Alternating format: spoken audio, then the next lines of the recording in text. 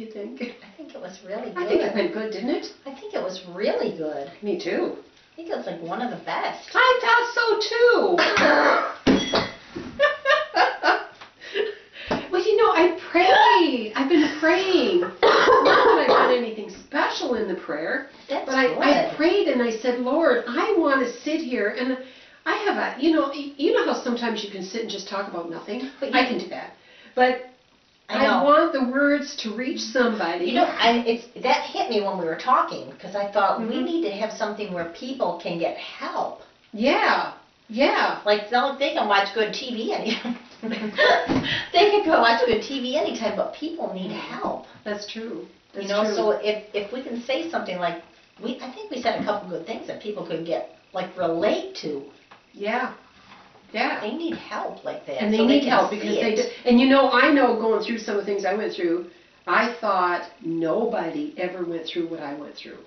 You know, as I was going through some of the things, Yeah. I felt isolated, but that's what Satan does. Yeah, he, He isolates isolates us, you. I know. Thinking, well, you can't. And, he and you know, and here's another thing, Joanne. I know it's being taped. That's one of his tricks. It is. It's one of his And you know, you know what happens too is, and I hate to say this, but it's the truth because this is keeping it real, and I might use this in some cut somewhere. you know, people that call themselves Christians Mhm. by word only. Right. What happens is if I, and this is how I felt when I was doing drugs and getting beat up and all that kind of stuff. I thought if I go to them and say I need help, like I'm being beat up, I feel alone in this relationship. I know I shouldn't be there because I knew I shouldn't be there, but I was too afraid to leave because he had threatened to kill my parents and Mhm. me and everything.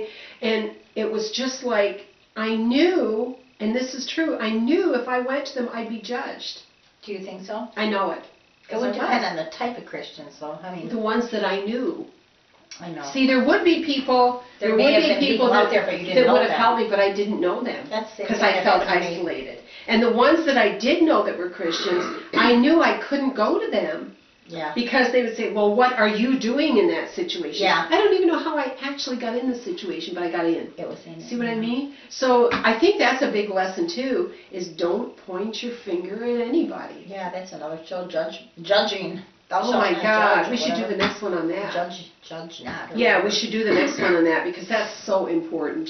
How are we, you know, the Lord never judged anybody. No, he didn't. He loved them. Yeah. He, he didn't like what he, they were doing, but he, he loved them. Even on the cross, he didn't look down and say, "Oh, what are you doing? What are you nailing me up here for?" He loved them. I know that's true. You know what I mean? He loved them in spite of what they did to him. And that's that's what I've been praying about. Lord, give me that kind of love for everybody. And it's hard sometimes, you know? No. It's hard, but um Oh, I know. oh well. But that's a good that's a good one too, too is judging and the different feelings that we have. But tha- but that's what I prayed this morning. I prayed, So much to talk Lord, about, isn't there? Please give us something to talk about that's That's going to help one. somebody. Yeah, Choices are good. yeah. And choices there's kept coming. all things mind. that come into that though, because like, you know, Eric talked about seducing spirits, and I can feel sometimes things, you know? Yeah. And I'm like, there's something wrong here, there's something wrong here, but I never Mhm. knew before, you know, you don't know. No, you don't.